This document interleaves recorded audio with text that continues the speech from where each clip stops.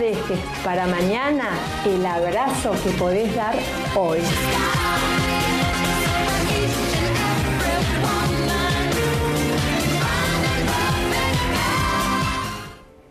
¿Comes mucho? ¿Comes poco? ¿Sos obeso? ¿Sos delgado? ¿Cuántas comidas diarias haces? Dicen que cuanto más come una persona, más se mantiene en el peso corporal. Me refiero a los estudios científicos. ¿Vamos a sacar conclusiones juntos? Dale, te voy a ayudar. Un obeso come una comida diaria. Dice, no tengo tiempo de desayunar, no puedo almorzar porque el trabajo no me lo permite, a la tarde estoy en el trabajo y lo que hago es comer galletitas o algún sanguchito. Llego a la noche, como estoy tranquilo, me como todo.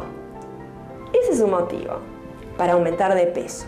¿Por qué? Porque el organismo necesita ir quemando las calorías que va ingresando al organismo de la persona.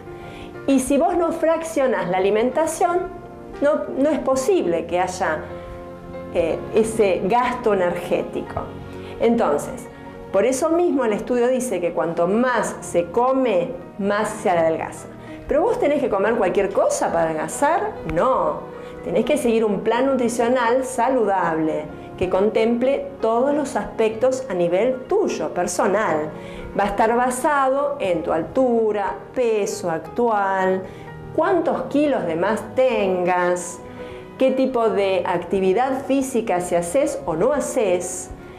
Y también hay que basarlo en el aspecto psicológico. Me refiero que muchas veces hay situaciones en las cuales los obesos eh, transitan por situaciones traumáticas. Las personas delgadas generalmente hacen cuatro comidas diarias y como te dije antes, los obesos una.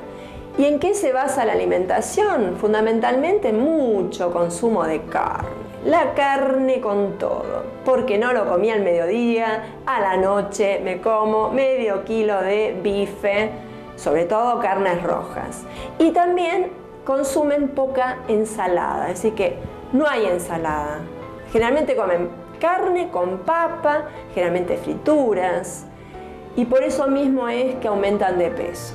Y además de eso, ¿por qué? Porque no hacen actividad física. Entonces, si quieres adelgazar, tenés que tener en cuenta que no comiendo no vas a adelgazar.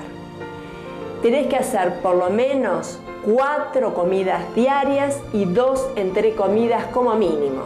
Y a la noche, antes de irte a dormir, un buen recurso, un vaso de leche con una banana no madura.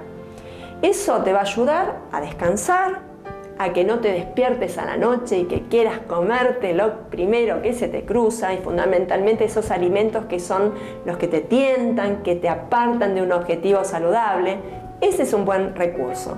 O si no también, otro ejemplo, un puñadito de frutas secas. Recordá, fraccionamiento alimentario y un plan nutricional acorde a vos.